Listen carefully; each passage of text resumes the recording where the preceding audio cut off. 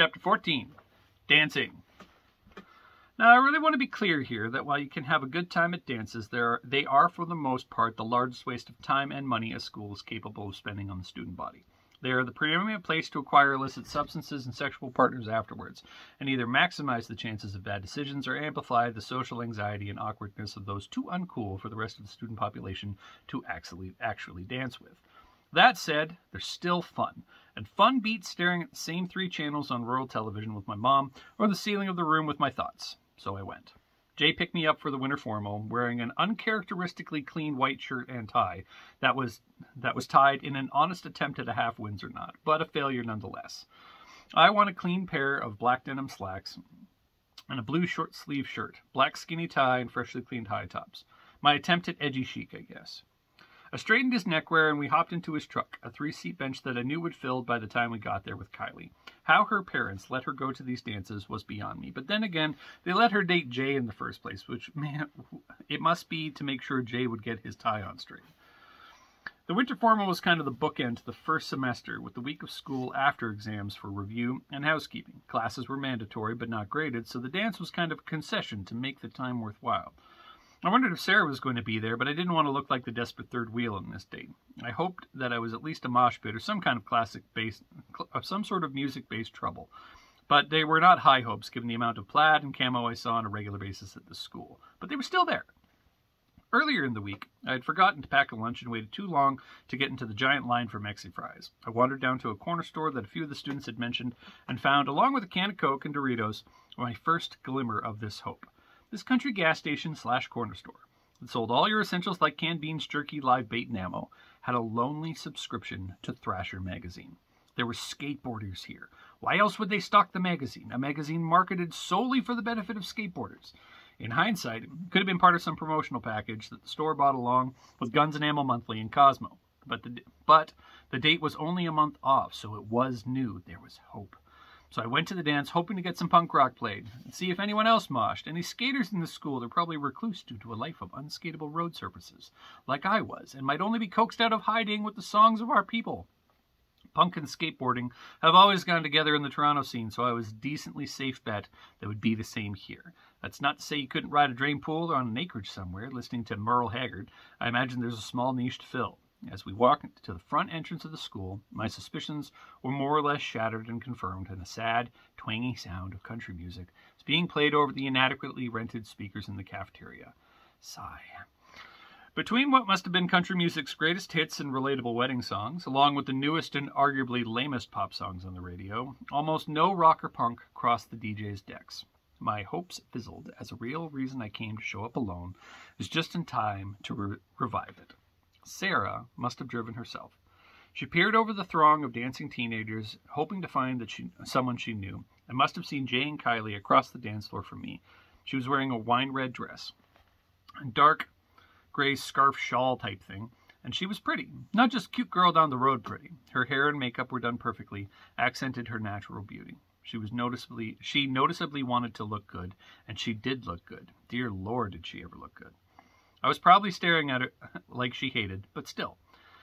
As she made her way around the foyer and down the long ramp to the cafeteria, a slow song started playing on the floor, and the floor simultaneously got easier to cross because everyone on it was paired up to sway to the song, but harder to navigate without looking like some creep dancing by himself.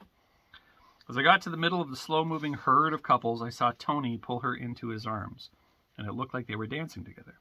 She looked surprised, but had enough of a smile on her face that I thought twice about trying to talk to her or interrupt.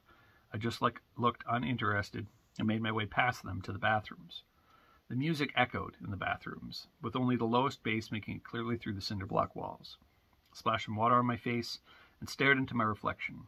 We don't belong here, stupid, I said to myself, or maybe the reflection of me said it to me. Either of us Either way, one of us was right. And this wasn't our music, these weren't our friends. Sarah wasn't our girlfriend, not like we would ever have the balls to ask her out anyway. I splashed some more water on my face one more time, drying it off with some paper towel, and made my way back to Jay and Kylie's dancing spot. And on my way, I felt a hand reach through my arm, uh, right, right arm and side, and grab my tie. I spun around and found Sarah was holding the tie. Hey, study buddy, she said, pulling me back into the middle of the floor. I followed because, hey, if a pretty girl is pulling you somewhere by your neck, you, you follow. Saw you dance with Tony, I asked. Don't remind me, she said, rolling her eyes. So why the change, though? I yelled over the music, backed off, uh, then backed off as the song faded out. A fast beat began to play over the speakers, followed by a subtle, if not noticeable, cheer from the students. There's no change. I'm here to dance, she said, smiling and bouncing with the beat, while still holding and pulling me into the crowd with my tie. What are you here for? I wanted to explain that my skateboard magazine related mosh pit plan, but damn if she didn't look good and worth shutting up for for dancing with. Her body her body effortlessly moved through the music. Something I noticed every high school dance I'd ever been to. A guy can look good dancing with a girl or a crowd, but not by himself. Whereas a girl could probably dance the socks off any said guy. Her dress was just tight enough to show her hips and curves. It moved how her hips and curves moved, flowing enough to add to say said movement. And the tie. High school aged guys currently reading this book, a tie is the best part of going to a formal dance, dance with a girl you like. There's something dangerously attractive about the way a girl can drag you to the dance floor with a silk noose that you probably had your mother help tie you a few hours before. It's sexy and smooth, and there's no manly equivalent to the actions of a girl pulling you towards the fun like this, so suit up when you get the chance, fellas. The music continued to boom, and we both continued to bounce with a small comedic interruptions from Jay and some of Sarah's other friends as we moved to the music. Halfway through the song, though, her face changed to something bordering on terror as she pushed past me on her way to the ramp. I tried to follow, but her crowds, but the crowds were still enjoying the latest song.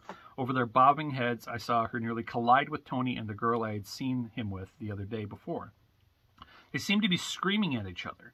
But the blonde girl and Sarah, but the blonde girl and Sarah definitely were doing it more. I wasn't close enough to hear any of it before I could get through the crowds, and she and the girl left a very dejected Tony and made their way to the door. They got outside about the same time I finally passed Tony. A death glare showed up between us, and he let me pass easily enough. I half ran up the ramp to the doors and squinted into the darkness as I got outside. Sarah, I called out, not knowing what she drove in, not knowing where she was going. There was a couple of cars either coming in late to the dance or leaving, moving about the parking lot. We were having so much fun. What on earth could Tony and his girlfriend have done that could have, that have A, made them leave, or B, made her so angry or scared? Thoughts like these can leave you generally obsessed and unprepared for what usually follows the third element of most high school dances fights. Chapter 14 Hope you guys liked it. The link is in the description below, and we'll talk to you guys later.